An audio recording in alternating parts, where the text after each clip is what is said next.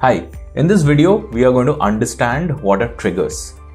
A trigger is the starting point of your DoubleTick bot's journey. A trigger is an event which gets fired and initiates the execution of your entire bot workflow. So technically, triggers are the most important component that would initiate all your automations. Now in DoubleTick, you get multiple triggers. Triggers ranging from ones that initiates a lead from click to WhatsApp ad, triggers that initiates when a Google form is submitted and a Google Sheet captures the response. A trigger can also be a keyword like hi, hello, help, or shop.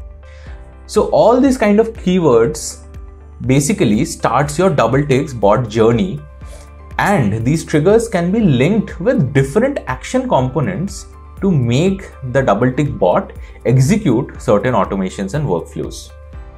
Now we will understand about triggers in much more depth in the upcoming basic bot videos, but it is important to note that the trigger of every bot must be unique. Why?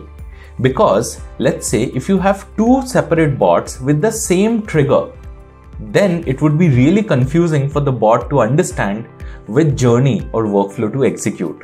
Secondly, you must have trigger as the starting point of every bot journey. Otherwise, the bot would not know when and where to start. So let's understand how to execute different workflows using triggers and actions in the coming videos.